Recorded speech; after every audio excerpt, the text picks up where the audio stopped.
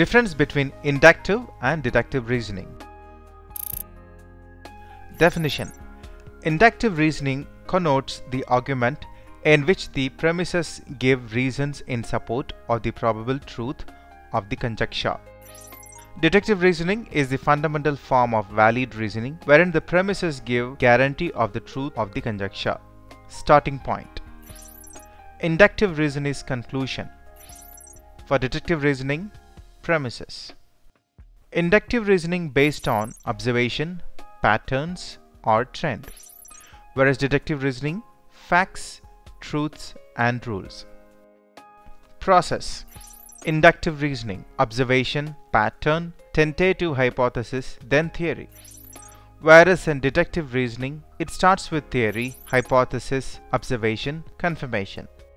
Validity Inductive reasoning may or may not be strong, whereas deductive may or may not be valid.